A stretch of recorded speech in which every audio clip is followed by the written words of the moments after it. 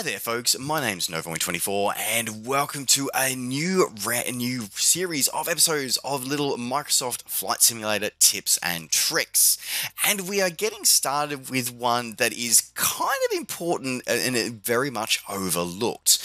And we're looking at how to change your server in Microsoft Flight Simulator. So, a uh, quick little bit of background to this one. So, the server that you're on uh, essentially allows you is the server that you connect with and see fellow virtual aviators on. Uh, it also um, sw swapping between servers is also a known uh, way to be able to troubleshoot any issues of not being able to see your fellow aviators in uh, in multiplayer or for example things like uh, live traffic or live weather not displaying correctly in your sim. A quick swap between servers is often recommended uh, and can often resolve any issues you might have so what we're going to do in this episode, we're going to be showing uh, how to change your servers because it's really, really easy and you can do it at any time.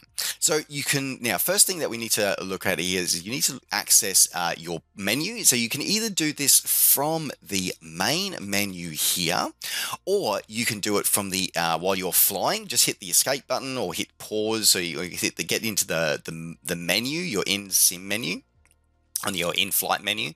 Uh, the key part that you need is you need access, you need to see this little icon up the top right here. This is your gamer tag. So this is your name that you're seen with online. This is essentially your online identity that's linked to your Microsoft account and your Xbox account. So all you need to do is be able to see this. And this applies, by the way, folks, this applies equally to PC and Xbox users. You, you can you can absolutely join for this one. So all you need to do is to change your server or to see what server you are on, go to click on your gamer tag. You can see your you know your name, you see your game version, which is also useful, uh, and you can see the status that you have. So whether you're showing as online, offline, busy, or away.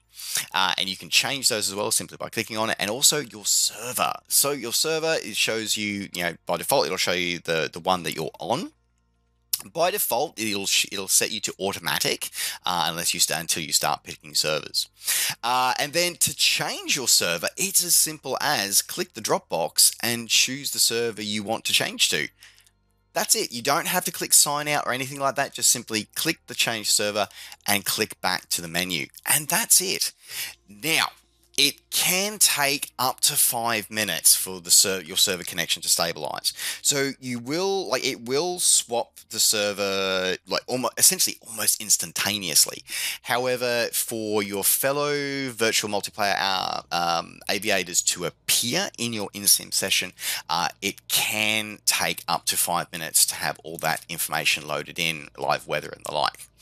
So this, as I said earlier, this is it's a really really simple thing, and again, just to change to change servers back. Uh, so again, at any time, you change that, change, click that, and we're done.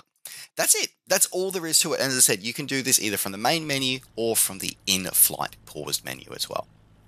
So why would you change servers? So if you're wanting to fly with different groups of people who are having flights on different servers, that's an obvious reason to do it.